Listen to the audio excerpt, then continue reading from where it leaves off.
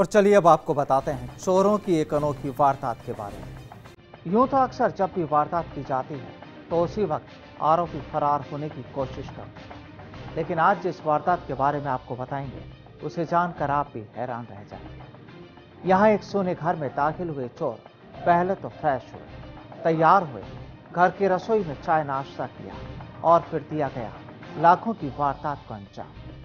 लेकिन इसी बीच यहाँ पहुँच गए घर के मालिक। और फिर तस्वीर का दूसरा रुख भी सामने आ गया। रिपोर्ट कानपुर से।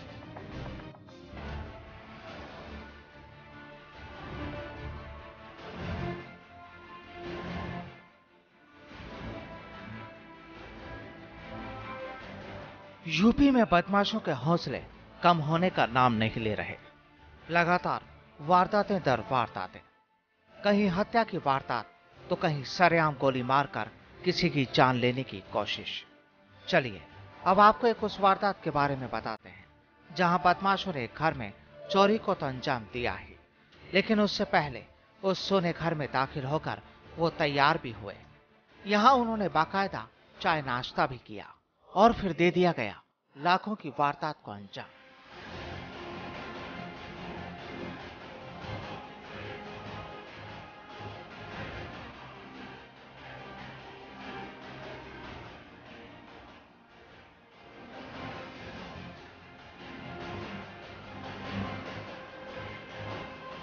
दरअसल ये पूरी वारदात हुई कानपुर के गोविंद नगर थाना इलाके में जहाँ एक सोने घर में मौका देखकर पाँच चोर दाखिल हो गए, जिसके बाद वे तसल्ली से फ्रेश हुए, फिर चाय बनाकर पी, और उसके बाद घर के कीमती सामान और हज़ारों की नकदी पर हाथ साफ़ कर दिया गया।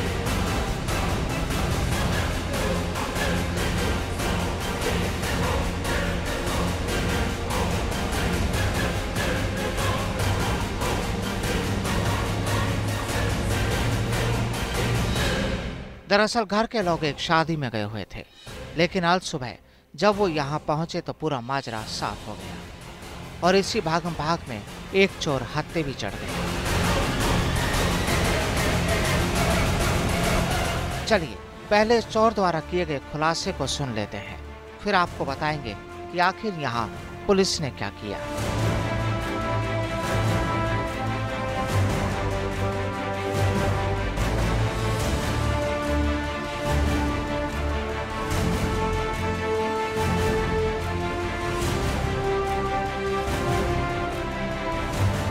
अंकल जी क्या वजह नहीं घुसे वही लोग इधर से आए कहते चले पैसे मिले। हमने कहा ठीक है भाई चलो।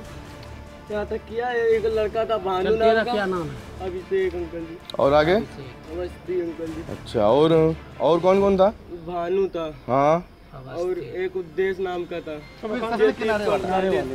ये तीन आइए आइए आइए आप लोग और और है उसमें? अंकल जी आप चलिए मेरे साथ अरे कहाँ गए? निकल किसे वो कैसे निकल? इधर पे जागरण पे या ब्लैक पार्क पे भैया। आप लोग मेरा विश्वास करो हम सबको पकड़वाएँगे। दरअसल जब घर के लोग अचानक यहाँ पहुँच गए तो चार चोर तो भाग निकले लेकिन एक युवक को पकड़ लिया गया। पीड़ित परिवार के मुताबिक चोरों ने सभी अलमारियों के तालों को तोड़ डाला और वहाँ रखी नकदी और जेवरातों पर हाथ साफ़ कर दिया। पीड़ित के मुताबिक जब वो यहाँ पहुँचे तो घर की छत पर कुछ लोगों को देखा गया था।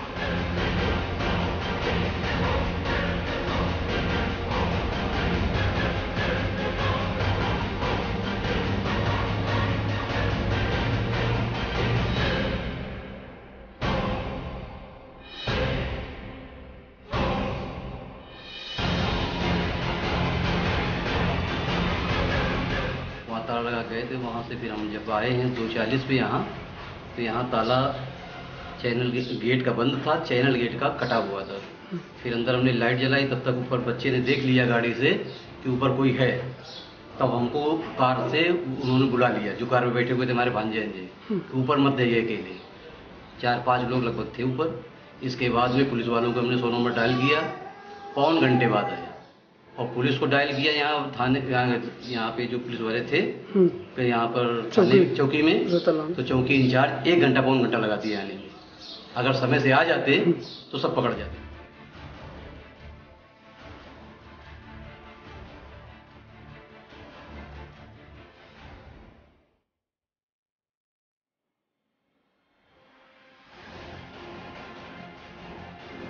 पीड़ित के मुताबिक पड़ोसियों और दूसरे लोगों ने मशक्कत कर एक आरोपी को तो शिकंजे में ले लिया, लेकिन पुलिस को खबर किए जाने के बाद भी उसकी गहरी नींद नहीं टूटी। यहाँ तक कि इलाके की चौकी के अधिकारियों ने मौके पर पहुँचने में भी काफ़ी वक्त गंवा डाला। अगर पुलिस यहाँ वक्त पर पहुँच जाती तो शायद दूसरे फरार बदमाशों को भी पकड़ लिया जाता।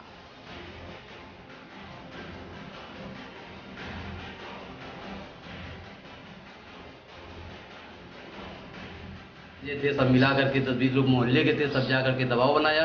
पुलिस वालों ने ढंग से कार्रवाई नहीं की, ऊपर नीचे करते रहे करे उनके चार पैर होते हैं, हम लोगों के दो पैर होते हैं, चोर वालों को। फिर वो नहीं पकड़ पाए, चारों तरफ़ तक घेराबंदी की। इसके बाद में जो प्लाट खाली पड़ा हुआ है, उसमें एक लड़के ने आवाज़ दी अंदर से, जब उसमें कूदने लगे हम लोग उस पर डेढ़ घंटे तो उसने कुछ नहीं बताया।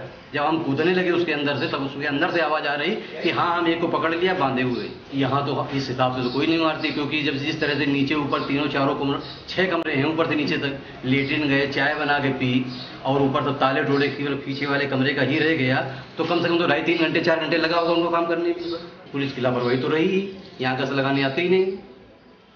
और आते जानकारी नहीं रहता जा आते होते तो भाई कोई हादसा होता। अक्सर पुलिस का दावा होता है कि उसकी गश्त पर कोई सवाल नहीं उठा सकता। लेकिन यहाँ इस वारदात को देखकर वो दावे भी हवाई ही लगते हैं। क्योंकि अगर यहाँ सूचना मिलने पर ही पुलिस पहुँच जाती तो शायद इस बदमाश जैसी तस्वीर दूसरी भी तैयार हो जाती, और ना ही उठते खाकी पर सवाल।